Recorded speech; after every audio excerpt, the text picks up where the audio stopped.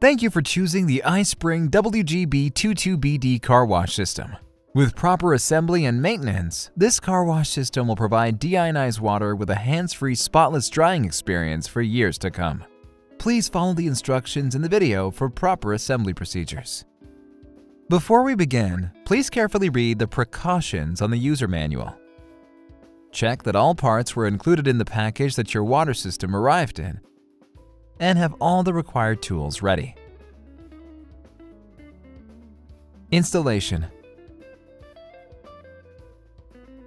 The system comes with a set of quick connectors and can easily fit with standard outdoor or garden hoses. Step 1. Assemble the movable stand. Use the included bolts, nuts, and washers with a screwdriver and wrench to assemble the stand and the handle. Step 2.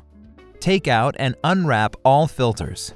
Insert the filters into their housings and ensure the housing O-ring is seated correctly to prevent leaks. Step 3. Twist the housings counterclockwise onto the housing caps. Use the housing wrench to tighten the housing with another quarter to half of a turn.